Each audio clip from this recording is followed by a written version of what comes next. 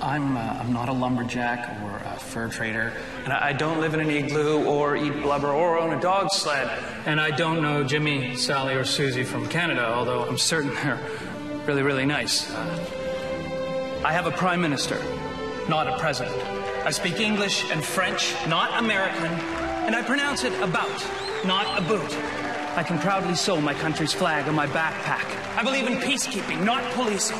Diversity, not assimilation. And that the beaver is a truly proud and noble animal. A toque is a hat. A Chesterfield is a coach. And it is pronounced zed.